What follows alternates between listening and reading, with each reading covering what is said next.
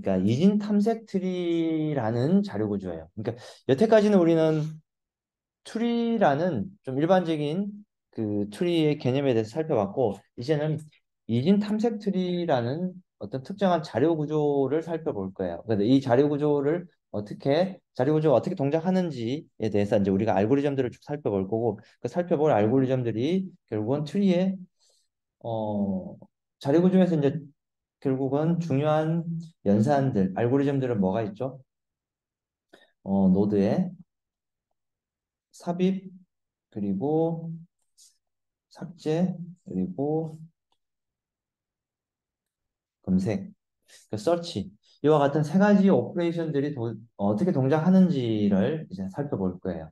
음, 살펴볼 거. 그래서 이진 탐색 트리가 그러면 도대체 뭐냐부터 한번 볼게요. 이진 탐색 트리. 이진 탐색 트리는 어 우리가 트리 할 때 이진 트리가 뭔지 우리 살펴봤죠? 이진 트리. 그러니까 이진 트리의 그 특징은 뭐죠? 자식 노드가 반드시 두 개, 그러니까 그 서브 트리가 어 서브 트리가 두 개 있는 어 서브 트리가 두 개로 구성되어 있는 노드들 노드로 구성되어 있는 트리를 우리가 이진 트리라고 했고, 근데 이제 이진 탐색 트리는 이진 트리인데 이진 트리인데 어, 탐색 작업을 효율적으로 하기 위한 자료 구조예요. 뭔가 좀 찾기를 효율적으로 찾기 위해서 만들어 놓은 자료 구조이고 얘의 특징은 어, 어떤 키가 있으면 자, 이 루트 노드부터 볼게요. 루트 노드가 있고 이 왼쪽 서브 트리는 반드시 루트 노드보다 키가 작아야 된다. 그리고 오른쪽 서브 트리는 루트보다 키가 항상 반드시 커야 된다. 그러니까 어, 크거나 같아야 된다. 이 조건을 반드시 만족하는 트리를 우리는 이진 탐색 트리라고 한다. 그래서 어, 이 그림으로 보면 이렇게 볼 수 있죠. 루트가 있고 왼쪽 서브 트리와 오른쪽 서브 트리가 있는데 루트보다 작은 값과 루트보다 큰 값으로 구성되어 있어요. 그러니까 왼쪽은 항상 루트보다 작고 오른쪽은 항상 루트보다 크다. 어, 라고 볼 수 있고 그래서 예를 들어서 이렇게 볼 수 있죠. 어, 노드가 하나 있고 이 노드에서 왼쪽 노드는 이 루트보다 항상 모든 다 작은 값들이에요. 어, 작은 값들. 오른쪽은 루트보다 항상 큰 값들만 구성되어 있다. 루트보다 큰 값들만 구성되어 있다.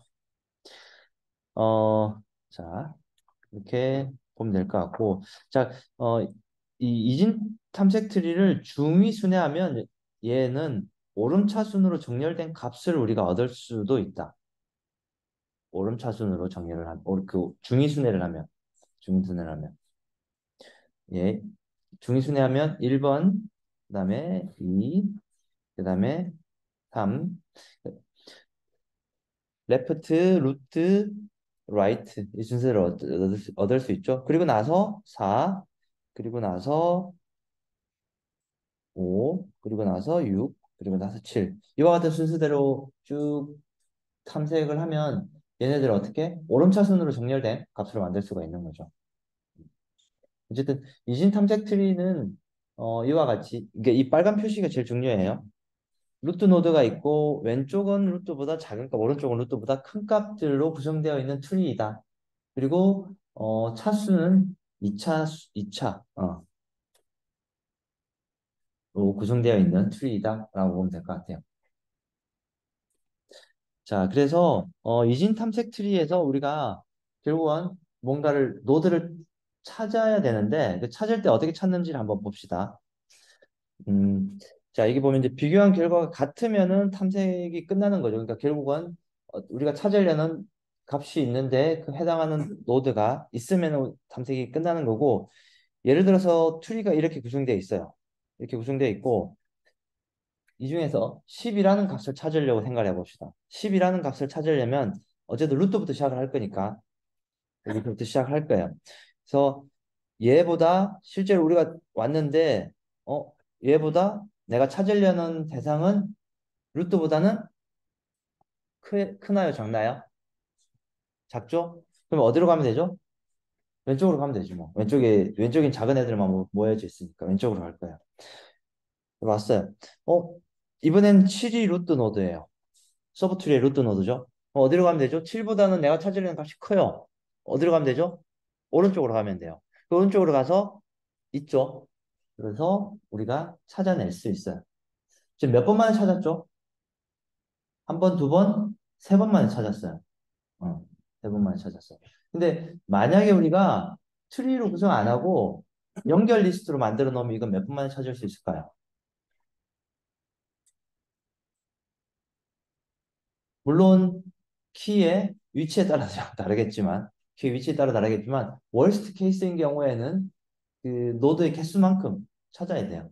node의 개수만큼 찾아야 돼요. 근데 얘는 평균 몇 번 만에 찾을 수 있을까? 그러니까 평균 뭐 worst case? 그 로그 n만큼만 하면 구할 수 있겠죠. 왜냐하면 그 높이 개수만큼만 탐색하면 되겠죠. 왜냐하면 자 여기 왔고 내가 원하는 값이 있으면은 크면 오른쪽으로 가면 되고 작으면 왼쪽으로 가면 되죠. 그러면 한 번 높이 한 번 첫 번째 레벨 끝났죠. 그럼 탐색. 두 번째 레벨에서 또 내가 원하는 값 찾으면 돼요. 그러면 내가 원하는 값 찾으면 돼요. 그래서 얘 같은 경우에는 최대 어, 높이 개수만큼만 탐색을 하면 돼요. 어. 그래서 좀 더 자세한 내용은 그 우리가 그 복잡도 계산을 할 때 좀 살펴볼 건데 얘는 로그 2의 n 횟수만큼만 탐색하면 금방 찾을 수 있어요. 어. 근데 연결 리스트는 그 node 개수만큼 다 찾아야 된다라는 그, 그 비효율성이 있죠. 그래서 뭔가 빨리 찾고 싶을 때는 우리는 추리 자료 구조를 이용해서 노드들을 정리를 해두고 그래서 내가 빨리 찾을 수 있다라고 이해를 하면 될 것 같아요. 자, 자 그래서 이진 탐색 트리의 그 이 탐색 알고리즘은 방금 우리가 봤던 그 소스 코 방금 우리가 동작에서 봤던 그 내용들을 잘 이해를 하면 전혀 복잡하지가 않고 코드로 알고리즘을 옮기면 이제 이렇게 옮길 수 있어요. 자, 내가 원하는 어떤 키를 찾을 거고 어디서부터 찾을 거냐면 root부터 찾을 거예요라고 이렇게 root를 줘야 돼요. root를 주고 자, 그 상태에서 이 root가 어, null인지 아닌지 비교를 해보고 그리고 null이면 뭐 이제 끝나는 거고 이제 더 이상 없으니까 그리고 이 키가 음 키가 실제로 내가 찾으려는 키이면 내가 찾으려는 키이면 어떻게 하면 되죠? 그냥 끝난 거죠. 성공한 거죠. 근데 내가 찾으려는 키가 아니면 어떻게 하면 되죠? 키가 어 내가 찾으려는 키가 어, root보다 작으면 어디로 가야 돼요? 왼쪽으로 가고 크면 어디로? 오른쪽으로 가야 되죠. 자, 어, 작으면은 search하고 왼쪽으로 가야 되는데 이 왼쪽 subtree와 오른쪽 subtree로 가는 가고 나서 어, 또다시 똑같은 방법으로 어떻게 해야 돼요? 또 내가 찾으려는 키가 맞는지 보고 또 왼쪽으로 가고 오른쪽으로 가고 이걸 언제까지 반복하는 거죠? 찾을 때까지 반복하는 거죠. 마찬가지로 이 방법은 결국은 문제 범위만 좁혀졌지 재기호출로 충분히 해결할 수 있는 문제죠. 자, 처음에는 이와 같은 큰 추리에서 이 root node를 우리가 찾고 여기서부터 왼쪽으로 갈지 오른쪽으로 결정했죠. 그리고 나서 만약에 어 얘가 작은 왼쪽으로 가야 된다면은 왼쪽 subtree에서 또 마찬가지로 똑같은 일을 하면 되죠. 맞죠?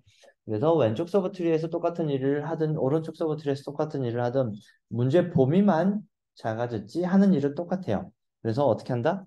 재귀호출로 똑같은 문, 이 문제를 우리가 해결할 수 있다.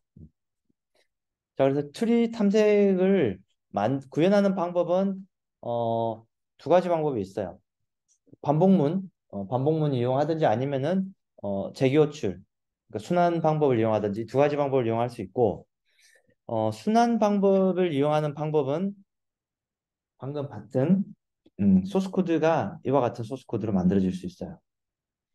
순환적인 탐색. 아까 봤던 그 코드하고 달라지는 게 사실 별로 없어요.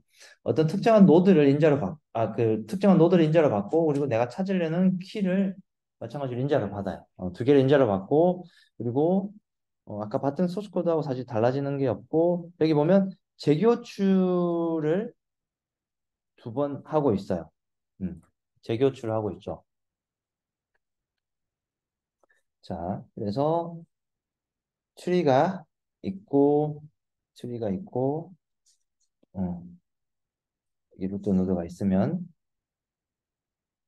내가 찾으려는 키 값이 어, 이 루트 노드보다 작으면 왼쪽으로 가야 되죠. 왼쪽으로 가요. 그래서 어 search 하고 node의 left 그러니까 왼쪽 node를 root node로 가지고 가서 또다시 여기에서 어떻게 해요? 또다시 여기에서 찾아보는 거죠.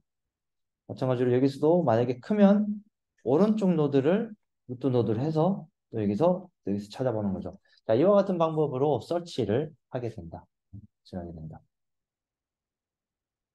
자,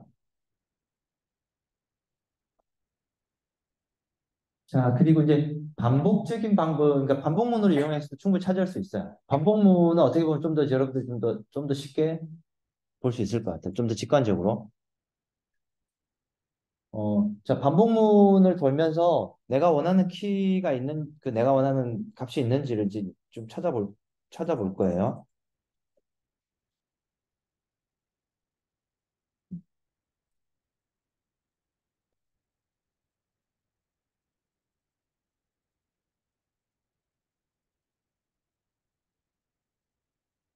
자, 이와 같이 tree가 만약에 구성되어 있어요. 자, 맨 root node는 18, 그리고 그 아래 30, 그리고 5, 25, 35라는 키가 쭉 놓여 있고, 자, 이 tree는 아까 우리가 봤던 이진 트리 조건 만족하죠? root node보다 왼쪽은 다 작은 값, 오른쪽은 다 큰 값이죠. 음, 다큰 값이에요. 자, 그래서 어, 내가 예를 들어서 만약에 여기서 25라는 값을 한번 찾아볼게요. 이 예로 반복문으로 25라는 키값을 한번 찾아볼 거예요. 자, 25가 키이고 자, 여기서 이제 root node 그러니까 인자로 받은 이 node는 root node를 인자로 넘겨 줄 거예요. 그 root node는 여기 얼마죠, 지금? 18이 root node이죠. 자, 그러면 여기서 어, 반복문으로 쭉 돌면서 이 node가 null인지 아닌지 결국은 사실은 여기 이제 우리가 사실은 다 주소로 다 넘어오죠, 지금.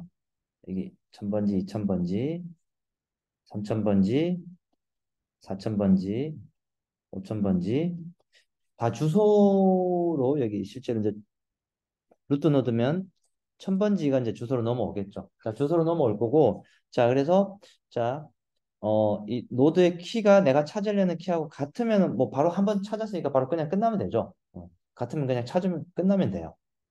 근데 그렇지 않고 내가 찾으려는 키가 이 루트 노드의 키보다 노드의 키보다 작으면 어떻게 하면 되죠? 노드의 left를 노드로 하면 돼요. 어, 얘가 원래는 어, 이름 그대로 얘가 원래 이제 처음에 노드였죠. 어, 근데 우리가 찾으려는 값이 우리 찾으려는 값이 25죠. 아, 그럼 오른쪽으로 가야겠네. 그럼 얘가 이제 노드가 되고 그리고 우리가 또 찾으려는 값이 30보다는 작으니까 다시 이제 얘가 이제 노드가 되는 거죠. 자, 이와 같은 방법으로 쭉 하다 보면 결국은 25라는 값을 우리가 찾고 찾아서 찾은 결과를 어떻게 음, 탐색 성공하면 이제 리턴 해주면 돼요. 자, 어, 그 사실 찾는 방법은 아주 간단, 뭐 아주 직관적으로 아주 쉬워요. 그래서 두 가지 방법이 있죠. 어떤 방법? 반복적인 방법과 반복적인 방법과 순환적인 방법. 어쨌든 두 가지 방법이 있는 거죠.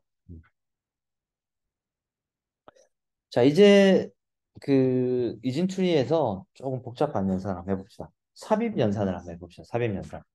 음. 자, 이진트리에 결국은 노드를 추가를 할 거죠. 근데 노드를 추가를 할 건데, 어, 연결 리스트에서 노드 추가할 때는 어떻게 했죠? 우리가 지정해줬죠. 어디에 넣을지. 뭐 맨 앞에 넣을지 아니면 맨 마지막에 넣을지 어떤 노드 다음에 넣을지 우리가 지정해줬어요. 근데 트리 같은 경우에는 어떻게 하냐 하면 어, 이진 트리는 어떤 특정한 노드를 삽입을 하면 그 특정한 노드가 삽입될 위치가 이미 정해져 있죠. 이미 정해져 있어요. 뭐 왼쪽 오른쪽 그 값에 따라서 정해져 있어요. 그래서 내가 삽입할 위치를 먼저 찾는 일이 먼저 첫 번째 필요할 것이다. 그래서 먼저 탐색 수행을 해서 내가 원하는 값을 찾는 일이 우, 우선시 돼야 된다. 그리고 탐색에 실패하면 그 위치가 내가 삽입하려는 위치이다. 자, 예를 들어서 한번 볼까요?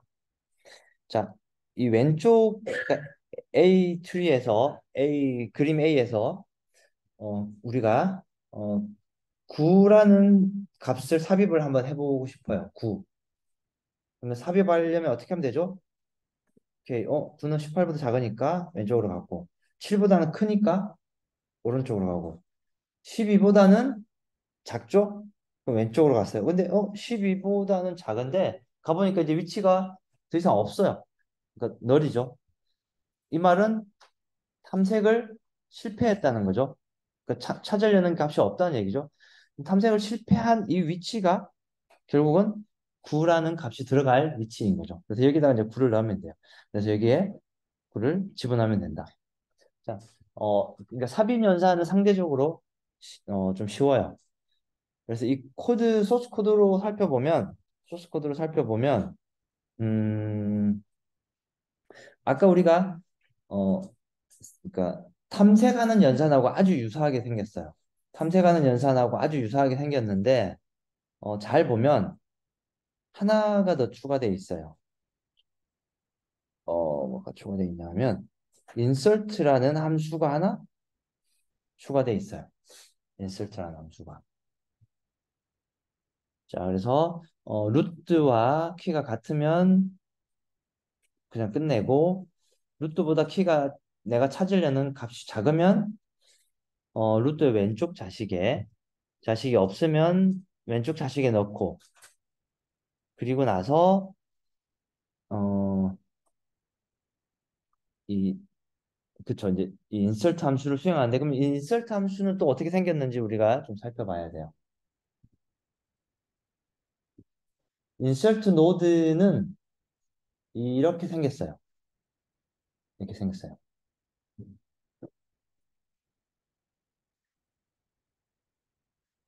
insert node는 일단 대략적으로 한번 볼게요. 대략적으로만. 여기에 인자로 뭘 받아요? 노드 주소 받고 그리고 내가 삽입할 키를 인자로 받죠. 자, 여기서 받은 이 노드는 뭘까요? 여기서 받은 이 노드는 그러니까 삽입할 위치를 인자로 이제 받은 거죠. 삽입할 위치를 인자로 받은 거고 어 그리고 자, 이 노드가 어 트리가 노드가 공백이면 그 insert 안에는 실제로 노드를 추가하려면 어떻게 해야 돼요? 노드도 만들어야 되죠. 그래서 new node 함수를 실행을 해요. 노드를 실행하고 어 그렇지 않으면 여기 또 재귀 함수 호출이 나오는데 이 재귀 함수 호출이 왜 나오는지를 어, 이 그림으로 한번 좀 볼게요. 그림으로. 음. 잠깐만요.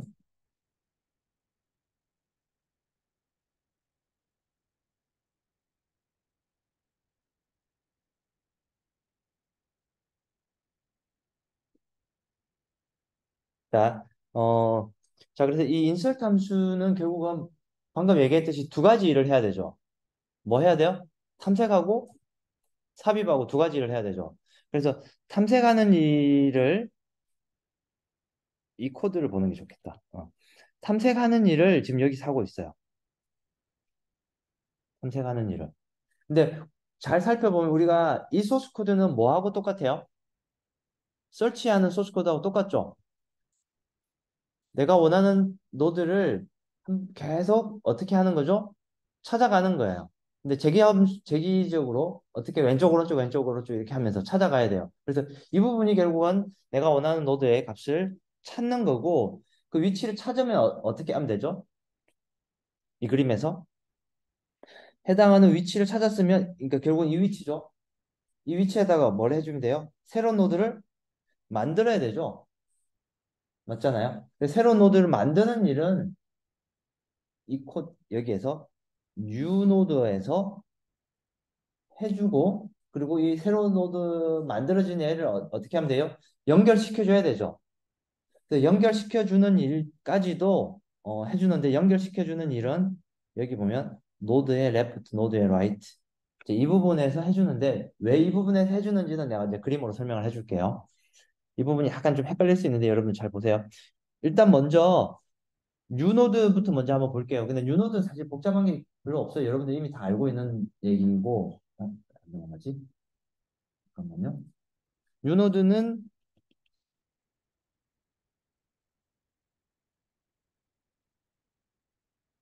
이 코드가 new node 코드예요.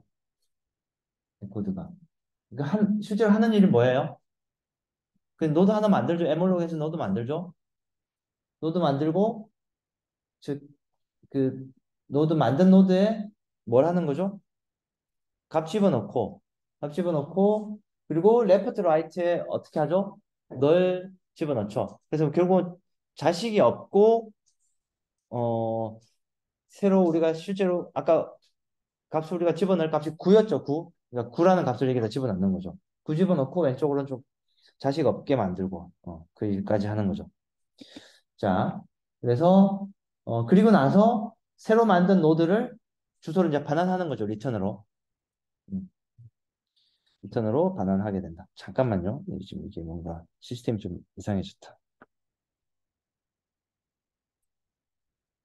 자, 그래서 이 코드를 이제 우리가 어, 봤으니까 이 insert node라는 코드를 이제 한번 볼게요.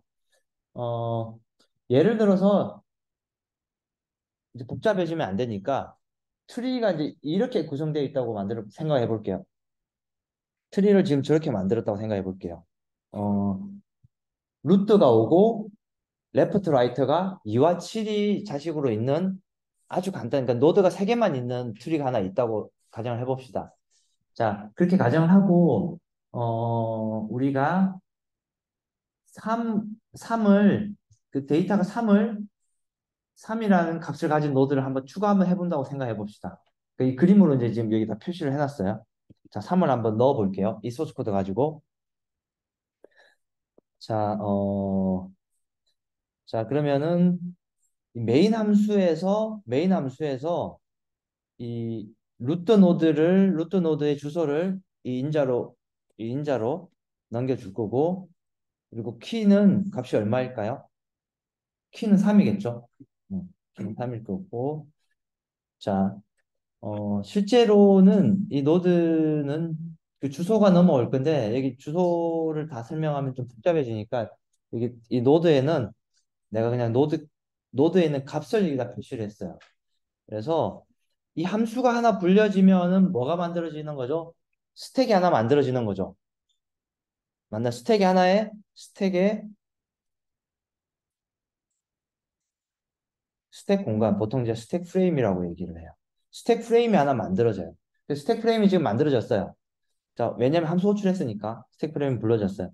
자, 그러면 노드가 5번, 그러니까 실제로 여기 얘가 뭐 우리가 주소를 첫 번째라고 가정해 봅시다. 첫 번째이고 키는 3이에요. 자, 들어왔는데 노드가 만족 안 하죠. 첫 번째 지금 값이 있는 거죠. 어. 그래서 내려왔어요. 그래서 키가 노드의 키하고 비교를 해봐요. 내가 우리가 지금 삽입할 키를 비교를 해봐요. 삽입할 키하고 노드하고 비교해 보니까 어때요? 내가 삽입할 키가 작죠 노드보다 어디로 가면 되죠? 여기 문장 실행하면 돼요. insert node를 실행을 하면 돼요. 음. 얘를 호출하겠죠? 자, 얘를 호출하면은 또다시 뭐가 불려져요? 이 함수가 호출되죠? 이 함수가 호출되면 또다시 스택 프레임이 여기에 만들어지죠. 스택 프레임이. 근데 이번에 스택 프레임이 만들어지는데 이번에는 그 인자로 어떻게 넘겨줬어요? 노드의 왼쪽이니까 2번 노드가 노드가 되고 키는 그대로 여전히 3번이죠. 맞죠? 그럼 2번 다시 들어왔어요. 어, 들어와서 쭉 실행을 할 거예요. 쭉 소스 코드를 실행해 보니까 이번에는 어떻게 돼요?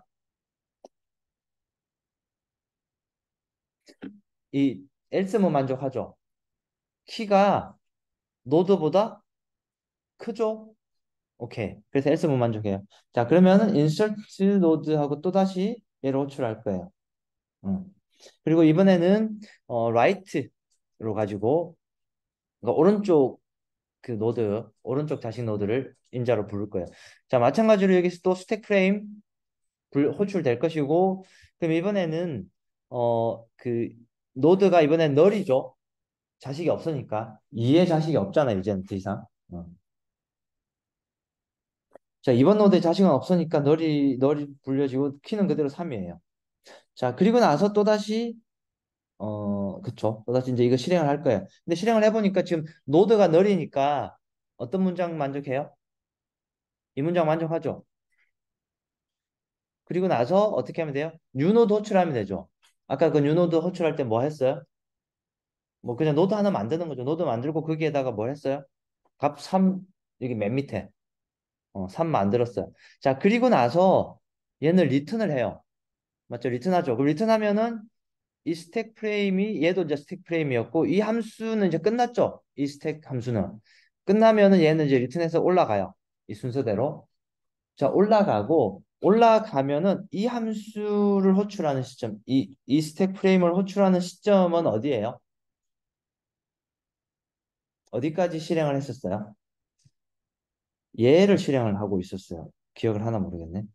얘를 실행을 하고 있었어요. 맞죠? 그래서 얘를 실행을 하고 있었으니까 얘 실행 얘 실행이 끝나면 어떻게 하면 돼요? 얘 실행이 끝난 거를 실행이 끝났으면 이 앞에 있는 이것까지 실행을 마, 마저 해줘야 되죠. 그러면 새로 이 우리가 할당받은 노드를 어디에다가 노드의 right에다가 넣고 있는 거죠. 노드의 right에다가 집어 넣을 거예요. 오케이. 그럼 집어 넣어 볼게요.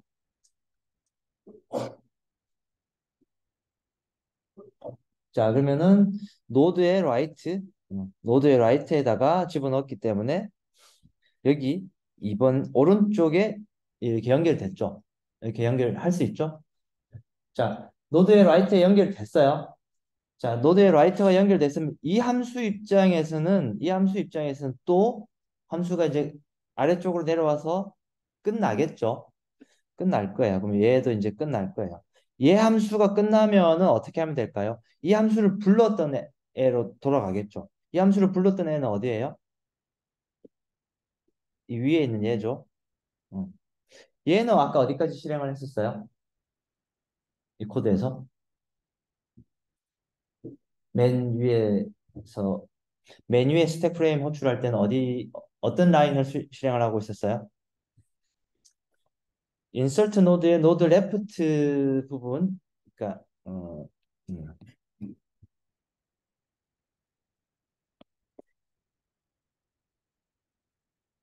이 부분 시, 실행하고 있었죠. 이 부분 그러니까 이 부분을 실행하고 있었죠. 어, 실행하고 있었어요. 그래서 끝나면 어떻게 하냐 하면 지금 이 3, 3은 아까 밑에서 달렸고 3은 아까 밑에서 자식이 연결됐고 그리고 나서 실제로는 이 노드 입장에서는 이 노드 입장에서는 이 2번 노드가 return이 될 거고 2번 노드가 return이 될 거고 아이고 2번 노드가 여기에 노드의 left에 연결이 될 거예요. 근데 사실은 원래는 연결이 원래 되어 있었는데 그러니까 한마디로 이 소스 코드를 정형화 그러니까 일반화 시키기 위해서 코드를 어, 좀 이렇게 만들어 놨어요.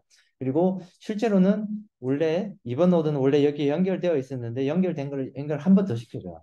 어, 소스 코드가 되게 소스 코드를 뭔가 좀 일반화 시키기 위해서 한번 더 연결됐고 그리고 나서 이 코드가 종료가 되면 종료가 되면 이 코드는 이제 끝나겠죠. 끝나면 어디로 돌아갈까요? 이 소스 코드는 이 소스 코드를 호출했던 메인 함수로 이제 돌아가겠죠.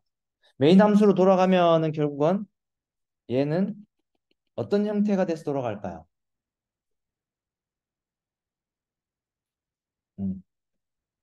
이 형태가 돼서 돌아가는 거죠. 그러니까 이 형태가 돼서 돌아가는 거죠. 그 메인 함수에서 아, 3번 노드 넣어주세요. 삽입해 주세요라고 함수 호출하니까 지금 결국은 저렇게 3번 노드가 달려있는 형태가 되는 거죠. 어, 달려있는 형태가 되는 거죠. 자, 이렇게 해서 메인 함수를 그 뭐야 돌아가서 우리가 삽입을 할 수 있게 된다. 어, 자, 어, 자, 여기까지 뭐, 여러분들 이제 뭘 할 거냐면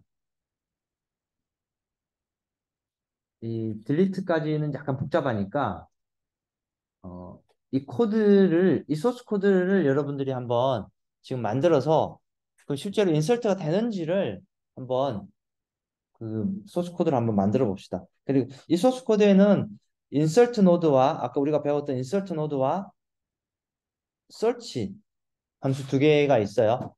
그리고 아 이노드도 있구나 이노드. 그러니까 중위 순회로 탐색하는 것까지 이렇게 있고 어, 지금 우리가 배우지는 않은 여기 여기 있는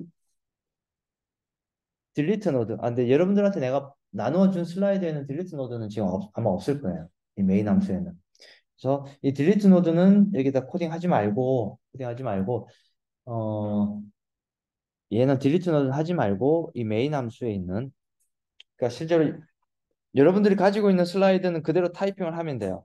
그러니까 내가 지금 오늘 오늘 아침에 약간 좀 이 슬라이드를 좀 약간 수정했는데 어 근데 여러분들이 가지고 있는 슬라이드를 그대로 타이핑을 하고 insert node와 우리가 방금 배웠던 insert node search가 잘 되는지를 어 지금 한번 해봅시다. 어, 결과가